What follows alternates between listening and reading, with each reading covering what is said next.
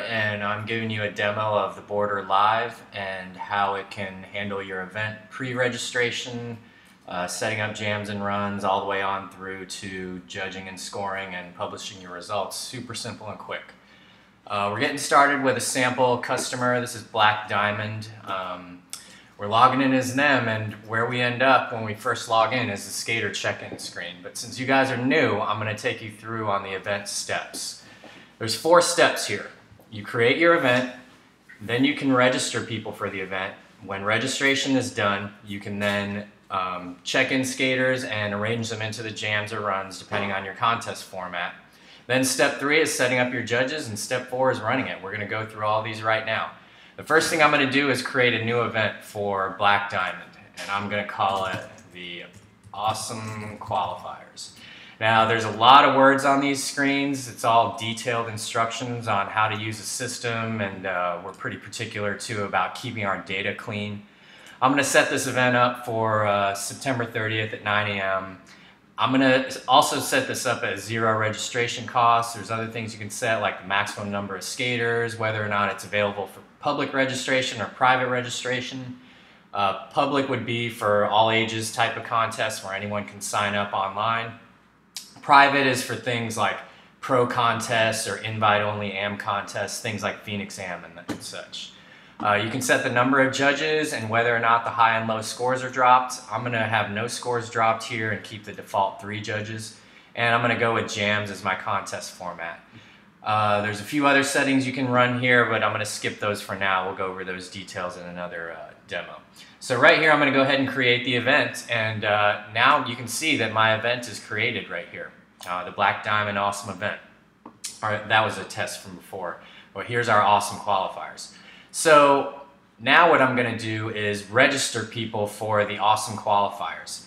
Let's say I'm going to go ahead and put myself in there. So I'm going to search Meronek, find myself right here, and then I'm going to go ahead and click register Rob Meronek, and I'm going to put my email in to create an invoice to Rob Meronek for the awesome qualifiers in the amount of zero.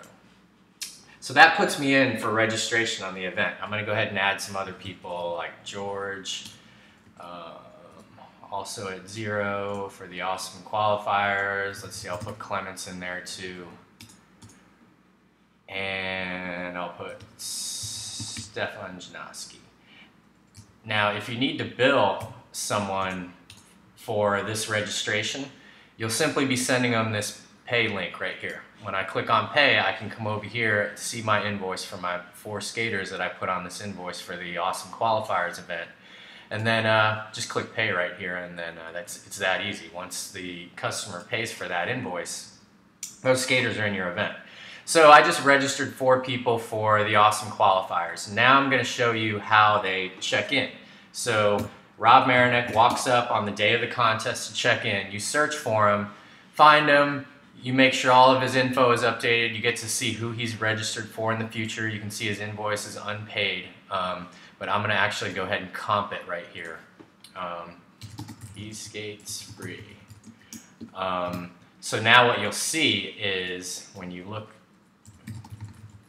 up here, you will see now that my entry fee for the awesome qualifiers, which just happens to be zero, is paid. So now you can continue and go, okay, Rob, you got any new sponsors? Yeah, I'm deleting something old. Um, I got a heat sheet note right here. I'll show you how that works later. I'm going to say needs a haircut. So we're going to see that later on the judge's heat sheets and notes. And you can use that for all kinds of things.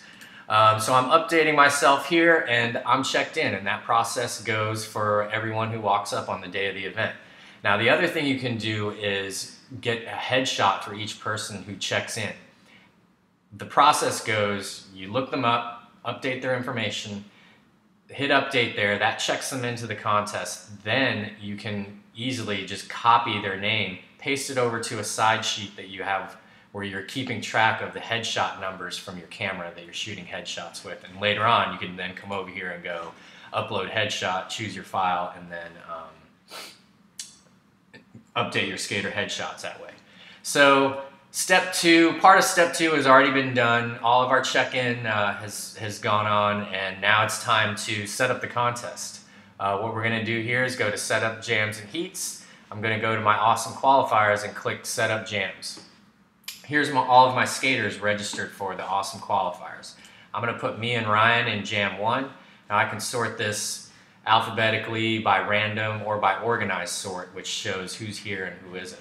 Um, because we want to have skaters that are definitely here and checked in in the first few jams so you aren't kicking off your contest with a bunch of empty uh, jams or skaters that aren't here. So right now I'm going to put myself and Ryan in jam one. I hit add jam skaters to jam. I have two skaters left here that I need to assign. George and Stefan, it automatically jumps to jam two for me. It tells me how many skaters are already in there. You can see I have two in jam one that I put there. So I'm adding them to jams. Now I'm done adding all my skaters. Now the second step to setting up a contest is assigning sections. Most people don't use multiple sections.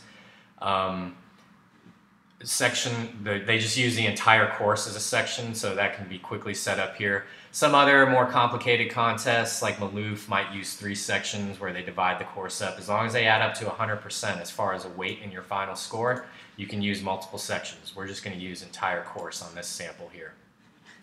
So that's it. Our, our event is set up and, and ready to be judged. Now all we got to do is choose our judges. Anyone with a skater profile can be a judge. So I'm going to pick Jason Rothmeyer as one judge. Uh, let's see, we'll put Mike Sinclair in there as another judge. And let's do uh, James Craig as their third judge. So our judges are set up and that's it. Um, if you go to the event steps, we just completed step three. Set up your judges and you're ready to go. Now we're on step four and we go to run it. Um, I'm going to bring up a couple of other windows now. On the awesome qualifiers, this screen right here, uh, I'm going to hit judge and I'm going to be James Craig. For the awesome qualifiers over here, I'm going to make this browser the announce screen. So I click on Jam 1 and I get to see the details on the people in Jam 1, the sponsors, age, hometown, all that, and there's my note, needs a haircut. Um, over here on this third browser, I am going to be the second judge, Jason Rothmeyer. And then on my iPad that you can't see over here, I'm going to be the third judge of Mike Sinclair. So back over here under James Craig, I'm going to go ahead and submit some scores for Jam 1. We have a slider bar that's super easy uh, to use on a touchscreen device. Sliding this gives you your score. This secondary slider right here lets you fine tune with uh, the decimals if you want, or you can use even, uh, exact even numbers like 78 even right there. W's, B's, and H's are just a quick way for judges to input touchscreen notes. Um, this stands for whatevers, bangers, and hammers. Um, judges are tapping these little counters as the jam goes on to kind of take their personal notes to give themselves a better idea of what they want to make the score at the end of the, the jam. So right here I'm going to submit scores for James Craig. Um, and then you'll see what goes on here as James now gets, okay, your scores are submitted.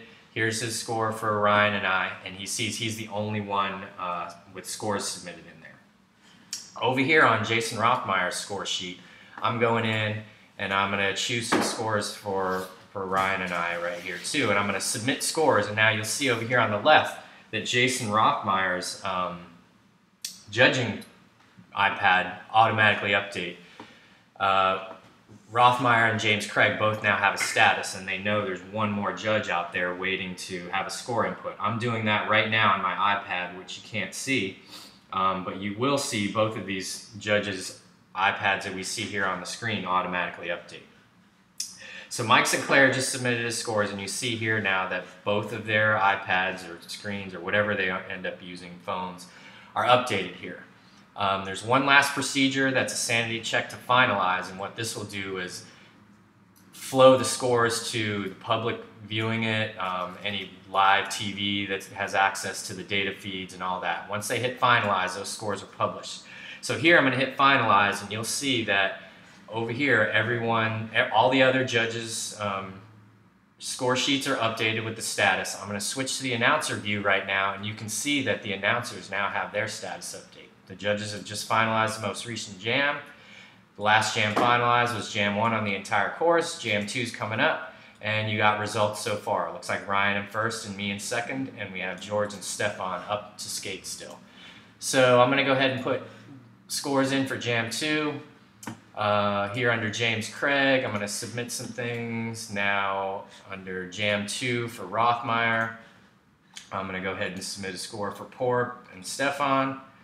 Uh, over here with the announcers and what they're looking at, they can see that two or two out of three judges have gone in. Over here on my iPad that you can't see, I'm gonna where I'm Mike Sinclair, I'm gonna go ahead and submit my score for him.